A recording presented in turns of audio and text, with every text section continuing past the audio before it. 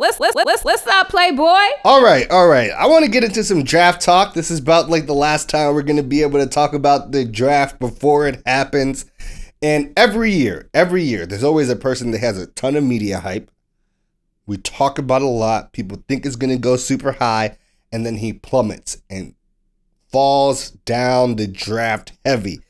And I always think in retrospect, there's also a lot of like, we could have seen this one coming. There was some bad tape out there. It's all media guys talking about this person. And afterwards, you look at it all and you're like, hmm, there is no way anybody, like any GM or coach, could have thought all the things that we were thinking. You know what I mean? Look, look, yeah. and every year I feel like there is that one guy that does that for me.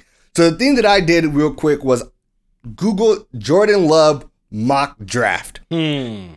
Yes. And I want to tell you, I think there who is this year's Jordan Love is really my question. So Sports Illustrated had Jordan Love going possibly five or six. CBS Sports RJ White had him going six. NFL's Chad Reuter had him going 10. ESPN Todd McShay had him going six. Right?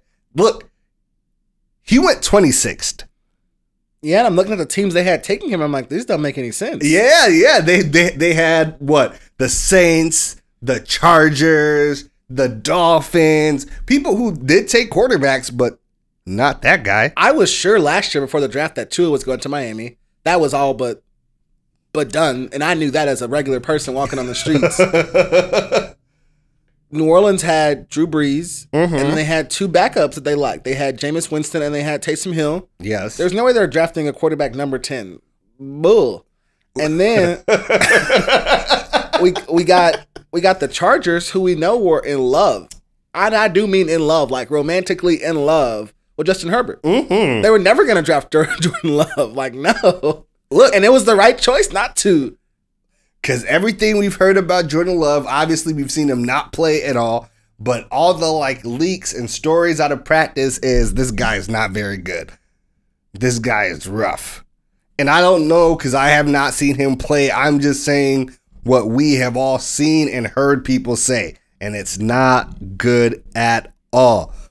So you got to think about it. He's falling all the way down to 26, and Green Bay moves up to catch him. So you don't even know how far he would have actually fallen. Maybe out of the first round. A hundred percent. So I gotta ask you, who is the guy in this year's draft? Look, especially if you have a quarterback take, I'd love it. That is going to be this year's Jordan Love, the one that everybody is like in retrospect.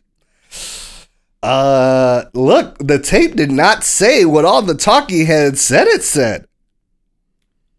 For the purposes of this, we are not the talking heads. Okay, okay, okay. Because I have been really, really low on Mac Jones this entire time.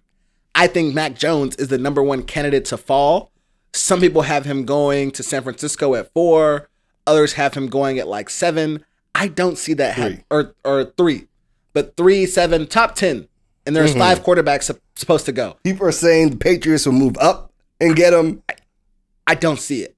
I don't see it. Few reasons. I think number one, something that no one is talking about in the media, but we've talked about here on the Fly Route podcast very much, is his character concerns.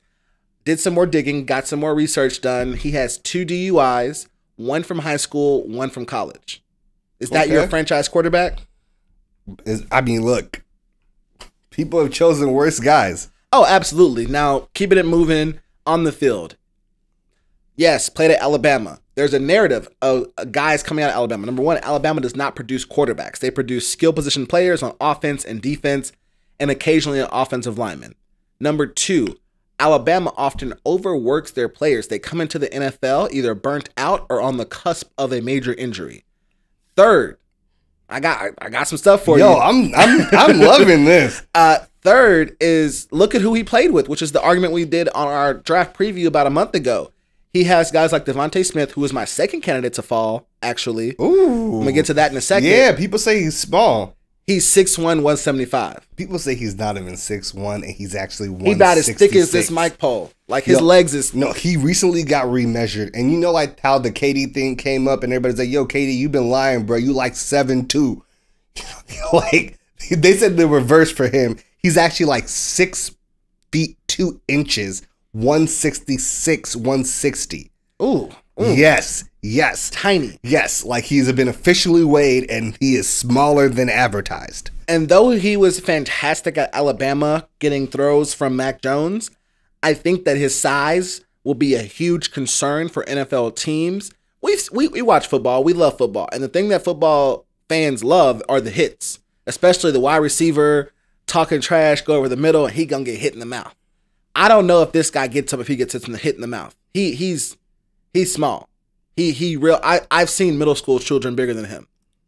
Stop. Right hand to God. I would testify in open court right now. I have a middle school student in my class you personally have right one. now who is six foot and easily 170. I swear to God. Look, I believe you. Okay. Look, I believe you. I Who you believe got though? Who you got? Okay. Okay, if we're talking quarterbacks. Right now, the hmm, here, here, here, here's what I'm gonna say. I honestly believe that it's more likely than not it's Zach Wilson. Mm. Zach Wilson is the person whose tape will not match at the end of it all. And they'll say the same things they said about Jordan Love, where they were like, Jordan Love was really good the year before his last year, but his final year, he had a poor O line, he had a younger team, way less help. So the tape looked worse. But what we saw from before was super great. And he has a high ceiling that we can obviously achieve. And look, if he does not get taken at two, that's a plummet fall for me. And someone will maybe possibly come up and try to grab him and think that they've gotten a steal. And mm-mm-mm, That's fair. it won't come out the way it's supposed to. I just I think he's a prime candidate to be a bust. But every every and I do mean like every mock draft since like January has had him going to the Jets. And But that's kind of the point. I read you all the mock drafts. you did. He's at six. He's at six. He's at five. He's at ten. I maybe the Jets are but why would the Jets put out this smokescreen? They don't have to. They know who number one's gonna be. It's gonna be Trevor Lawrence, and the Jets have their pick of quarterbacks after that. So why make up all the rumors about Zach Wilson? Why does 'Cause if I'm- why if- does San Francisco make up rumors about Mac Jones? Well, I know why. There, that that one makes a little bit more sense. There's more competition in front of them and behind them about who is the quarterback. But Well, the only one person's in front of them because we all know Trevor Lawrence is one.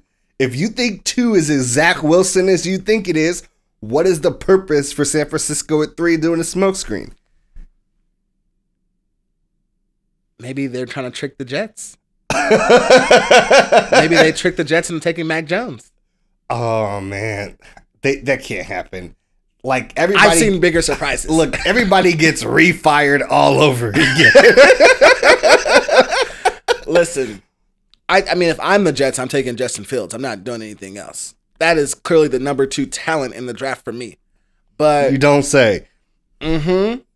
But who knows? I think you. I think you certainly. If the Jets don't take Wilson, I don't know who will because I don't think anyone else is planning for Wilson to be there because they are assuming the Jets are going to take him. Look, I, I get it. And j- people want to think, hey, maybe Justin Fields is a possible drop. I couldn't put him here for this segment because his tape matches the hype. His tape actually disproves the doubters. But that's where I'm at. It's- I'm interested to see what y'all think. Who do you think is going to be the player that has all the hype right now that's going to have a tumble in the draft? The, the, the, the fly route pod. The fly route pod. The fly route pod. The fly route pod. We want to thank you all for taking the time out of your day to listen to this video. Did you know that this video is part of a larger Fly Route podcast? Look us up wherever you watch podcasts. We are on Spotify, Apple Music, everywhere. Take the time, subscribe. We appreciate you. While we have you here, don't forget to like this video and hit that subscribe button. And while you're at it, don't forget to hit the notification bell. Otherwise, you will miss some of our YouTube videos. That's just the way YouTube works. And don't forget to follow us on Facebook, Twitter, and Instagram at the Fly Route Pod.